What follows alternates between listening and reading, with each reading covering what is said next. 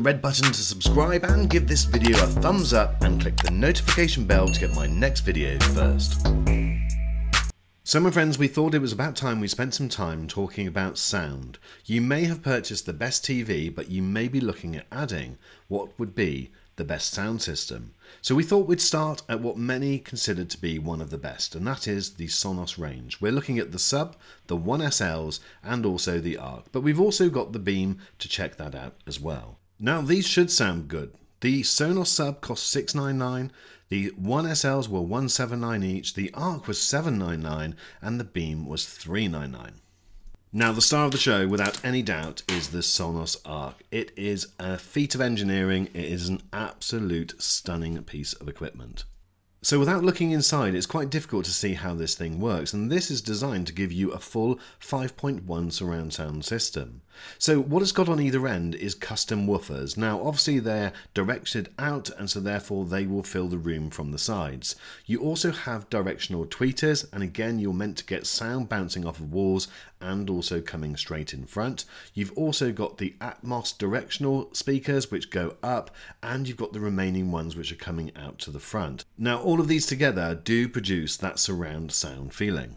What I would say, and it's really difficult to demonstrate this in a video on YouTube, is that when you pair your arc up to the sub, it just takes it to a whole new level. And that's the same with the Beam as well. Either one of these soundbars work brilliantly on their own, but compared to how they work with the actual sub, well, it's a no-brainer. You have to get the sub. And that's why when you look at the reviews on places like Amazon, it is just ream after ream of five-star reviews for that sub. One top tip for you if you are looking at purchasing the Arc and going to wall mount it, then just purchase the official Sonos Arc mount. The others that I've seen, the independent, the cheaper ones, are all very visible. They don't look very good. This is by far the cleanest design that you can find. It's so simple, it comes with the wall mount and then two screws which go into the back of the arc and then these will literally just hook over the top of the mount and lower onto it. It really is the cleanest design, the most simplest. I don't know why it's so expensive though. This is £69 or $69 and that is quite a lot for one piece of metal and two screws. But hey, it makes it look pretty good. Another advantage of wall mounting it is that you're unlikely then to have anything in the way, and obviously anything in the way of it will block the sound or distort the direction of the sound coming out. So again, I definitely recommend having it mounted so that all of the sound can escape in the way that it's intended. But as you can see, when it's on the wall underneath the TV, this is a 65 inch TV that it's under. I imagine it would be almost identical to a 55 inch in its length, but it looks fantastic. Operation is completely simple as well, with just a few very simple buttons on top and also over to the side there is the microphone button which can be turned on or turned off because this thing does work with Alexa just by commanding it. But don't get too excited guys because there are issues with that which I'll cover later. So as I mentioned earlier, I really did want to get that full surround sound effect, so I have purchased two of the 1SLs. These are going to sit right at the very back and offer that rear sound. Now the other thing that's great about this Sonos system, obviously these speakers can be set up as individual speakers or they can be grouped as zones and things like that. And I'll do that in another video and show you exactly what these can do. But I have purchased some cheaper wall mounts, some independent third-party wall mounts for the rear speakers. They work very well. There is no need to go out and get some of the expensive ones. They're very similar, in fact, to the official ones. Now, if you are in two minds between the Sonos Beam and the Sonos Arc, and you want me to do a separate comparison review, let me know in the comments and I will certainly do that for you. What I would say though, a lot of it comes down to the room size that you're going to be putting your equipment in. If you're in a smaller room and you've got the Beam and you hook that up to maybe a pair of 1SLs and the Sub, well then that's going to deliver incredibly good performance. You're going to be missing some of the more advanced features of the Arc, but it's still going to sound incredible. It's an amazing standard standalone speaker in itself. So I gave you the demo right at the very beginning of this video and I'll give you a little bit more of a demo shortly, but the sound quality that this Sonos system produces is quite breathtaking.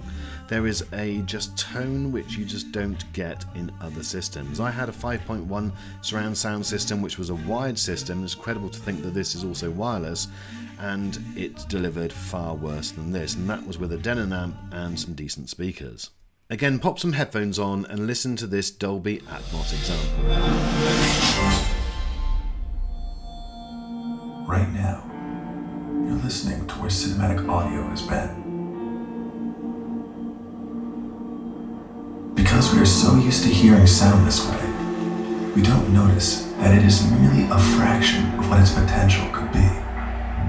But what if sound could be extraordinary? Again. Interrupted perfect.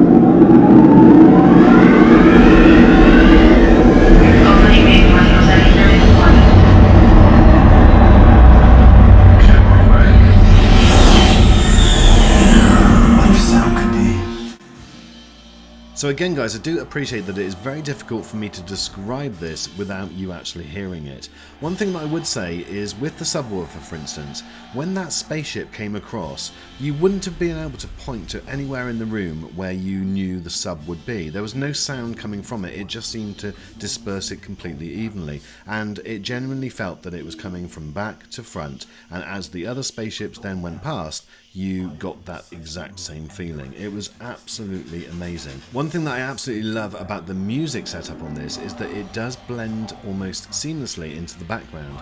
And what I mean by that, quite a lot of the time we'll have the music on while we're eating dinner for instance, and we're chatting away and occasions with my old system I'd have to go and turn the music down because it was blaring out certainly from one speaker, even though it was a 5.1 surround sound system.